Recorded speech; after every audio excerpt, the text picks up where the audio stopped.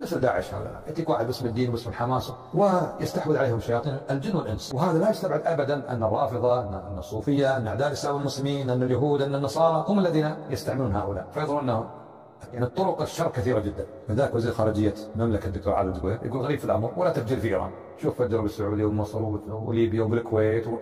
إلا وفرنسا ومدري إلا إيران ولا تفجير. لأن قادة هؤلاء القاعدة وغير القاعدة كلهم متولدين من القاعدة في إيران. الأمر يعني خطير جدا.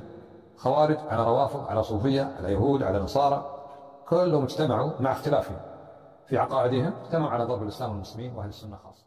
نعم هم نسمع أنهم يقومون بعمليات ضد اليهود ونحن نرى أن اليهود أهل غدر وخيانة ولا يمكن أن يفوا لأحد حتى وإن تظاهروا بما يتظاهرون به فوراء هذه هذا التظاهر ما وراءه من الشر. وإذا كانوا لم يفوا بالعهد لأشرف الخلق لا بل وإذا كانوا لم يفوا بالعهد لأشرف البشر محمد صلى الله عليه وعلى آله وسلم فكيف بمن دونه؟ نفهم أن أهل أن اليهود أهل غدر وخيانة.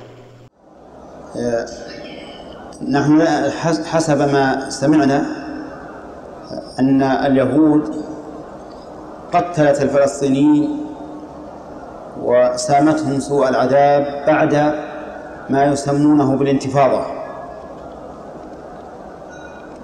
والله أعلم